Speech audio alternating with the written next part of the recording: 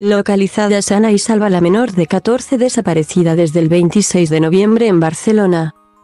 Los Mossos de Escuadra han localizado este sábado a la menor de 14 años que llevaba desaparecida desde el pasado 26 de noviembre en el barrio de Pedralbes de Barcelona.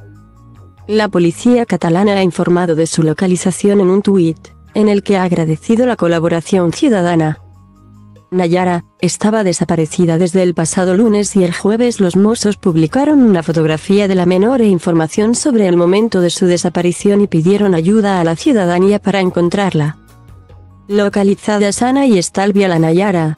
Gracias por la vuestra colaboración localizada sana y salva Nayara. Gracias por vuestra colaboración https tecogi 5 sir 6 mbc mosos arroba mosos 3 de diciembre de 2022